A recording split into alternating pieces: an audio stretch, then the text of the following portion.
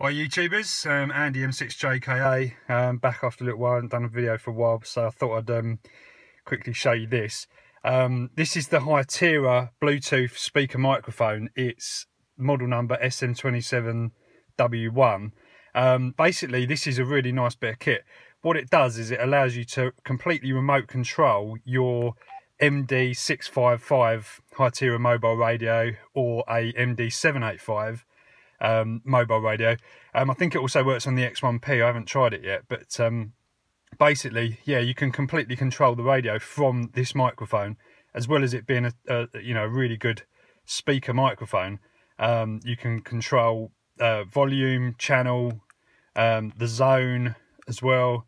Um, so you can completely use the radio, which is what I'm doing here. Uh, you know, by not actually sort of being anywhere near the radio. So if you look around in the back, I've just temporarily got the um, 655 in the back. Um, and basically what you've got is this little, um, oh, sorry, this is a bit awkward, but um, basically the uh, what you do is you put in this ADA 01, I think it's called. It's a Bluetooth adapter. Um, and it goes into the microphone socket of the um, the Hytera MD655 or 785, whatever mobile radio you've got. Um, and then this actually allows you to pair the microphone, um, the speaker microphone, to the radio like a normal Bluetooth device. I think you can also actually um, pair other Bluetooth devices to it as well. Um, it's got a button on it. When you when you actually push it, you can you can actually transmit. Um, the purpose of that, I'm not 100% sure, but basically um, that's how it works and you see it. It's very very straightforward to set up. You just literally put this in the radio um, and then as soon as you turn on the microphone it just pairs straight away. So wherever you are you can just literally just you know near the radio you can just turn the microphone on um, and it will just um, link up to the radio which is mega cool in my opinion. Um, battery life on this seems to be fantastic. It's been on for two days um, and it just seems to just continuously run. Um, I haven't run out of power of it at all. It's got on the back like a charging um, accessory, and, and actually what comes with the radio is like a, a, clip which you could install in the car, and when when you basically clip it onto the onto the car, it has like a like a USB um, connector on the bottom of the clip, which makes contact with these. So when you basically you know put it into the clip, it starts charging. But you don't have to do that if you don't want to wreck your new car, um, like me. You can just basically, um, you know, just charge it with the, the normal micro USB um, adapter, which doesn't come with it, but you can just use any any sort of phone one. It works. Um, so that's that. Nice thing about this as well, which on the MD655, you have a similar type of mic to this, but it's obviously tethered to the radio by a, your normal um, your normal uh, mic lead. But um, with this, it actually gives you alphanumeric and ID displays. So if you get the um, SL 5000, 4000 there and just key up, yeah, yeah. you see you've got um, basically your your uh, your display comes up for the for the um, alias. So that is really good. You get the alias and you get the the group um, come up.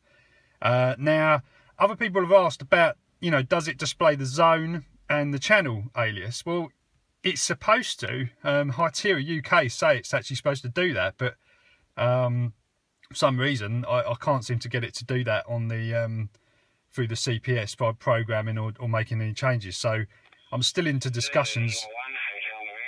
So you can hear a little bit there, but um, yeah, I'm still into sort of discussions with them about what, whether it's actually possible if there's a firmware uh, update which will allow you to, um, you know, to do that.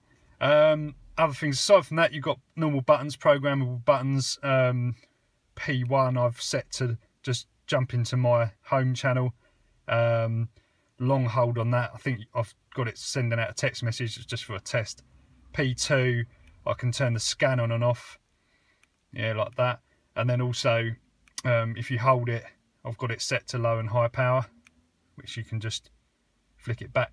So you've got some flexibility because obviously the 655 um, Hytera hasn't really got a lot of, um, you know, hasn't really got any buttons on the mic. Um, it's got the same amount of buttons as this actually, but um, really, you know, you haven't got much way of, way of sort of, you know, playing with the radio. You can just basically use it. Um, you know, it's it's just just how it is. Um, other things, I mean, it's a nice, it's actually nice nice to hold. Like the microphone's very very nice to, um, you know, it's got it's not too light and it's actually quite quite solid. You're not gonna you're not gonna drop it. Um, if you did, you'd probably find that it would survive um, no problem at all. But as I say, yeah, it's it works very very well. Actually, funny thing is, when inside the house, I can actually um, connect to my car radio.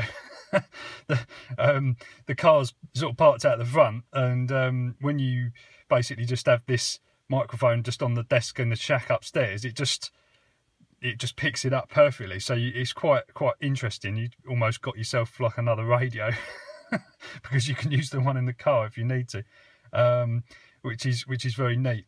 Other thing I will say on the uh, 785 on the MD785, um, I don't know if anyone's noticed, but it what it does when you when you actually when it opens the audio circuit, you get a bit of a hiss. You get a bit of a like a, a hiss. If you're in a quiet place, you know this this this sort of audio hiss is pretty loud. Actually, um, I think it's just how the thing was sort of obviously designed, and um, you know their audio amplifier circuits are, seem to be a bit noisy, but obviously it's designed for a car, so it probably wouldn't really be noticed there. Um, but you know, in a in a shack which is quite quiet, um, you can hit you can hear that, and if you've got the volume turned right down, it's actually pretty pretty quiet. Um, so the hiss almost, you know, it's almost as loud as the voice. Um, one thing I don't like about it because I do have to have I do turn my volume down on the radio quite a bit. Um, so as not to disturb other people in the house. Um, but you know, saying that, when you use this microphone with the 785, it's completely and utterly silent. You know, you literally all you hear is the voice. There's no hiss or noise. You can hear a bit of a, um, you know, like a like an audio amplifier sound, very very very very slight whine, but um, you know it's it's a world different. So using this on the md785 even indoors is actually a really really good idea. Um, and it's sort of similar to your sl4000 where um, this is fantastic just going off um, subject you know slightly but um, this is the same sort of thing it won't won't actually make any audio noise apart from the sounds obviously the the the, uh, the incoming audio voices um, the transmissions. So, you know, this is the pure digital age of transceivers where, you know, they're limiting the amount of analog that's actually happening um, in, in the radio. So you're not getting all these noises. So that's a useful point about that. If you were considering, um, you know, using this with an MD785, that does make a make a big big improvement in my opinion. Um, so yeah, that's the um, that's the Hytera microphone. Um, we are actually selling these on um, cloudsto.com on the in the Hytera section. Um, I, I retail. Um, oh crikey, I can't even remember the price now, but I'll put it in the um, I'll put it in the in the description there. It's not the cheapest thing in the world, but to be honest, it it is actually a massive um, massive improvement. The great thing again, I just can't stress this point enough, is the fact that I'm going to basically just mount that in the back in the boot. So you're not even going to see this radio at all, um, which is just going to mean that you, you know, you can pretty much just hide that radio away. Um, you know, actually mount that somewhere you're not even going to see, like under the even under the boot floor, you could put that radio, and then all you got to do is grab this on your way to the car and just turn it on when you get inside the car, and you've got no, absolutely no intrusive this in the car whatsoever. You know, you can just keep your car spanking um, and uh, just continuously continue to use your radio and everything else. So anyway, waffling on, it's all all good with this one, and um, yeah, I hope that gives you a bit of an insight into it. Uh, listen to the audio if we can a little bit on here. This is coming via a DV4 Mini, so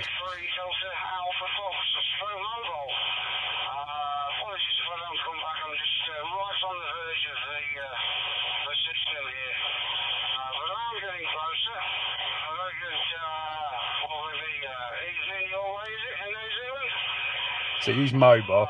This is coming from the DV4 Mini, so you know, right this moment in time, that's a little bit can be a little bit flaky at times, um, audio going into it. But um, anyway, there you go. That's giving you a bit of a view of it, um, and we will continue to uh, do some more videos.